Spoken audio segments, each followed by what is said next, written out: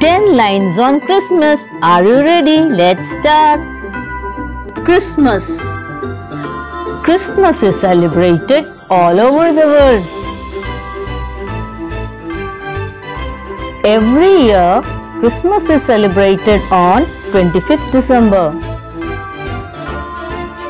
On this day, Jesus Christ was born in Bethlehem to Mother Mary. Christmas is very important festival of Christians. People decorate their houses and churches with stars, lights and Christmas trees.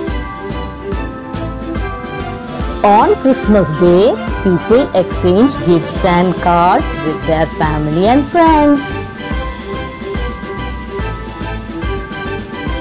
People go to church to offer prayers and to sing carols. Children are very happy because they get lots of gifts from Santa.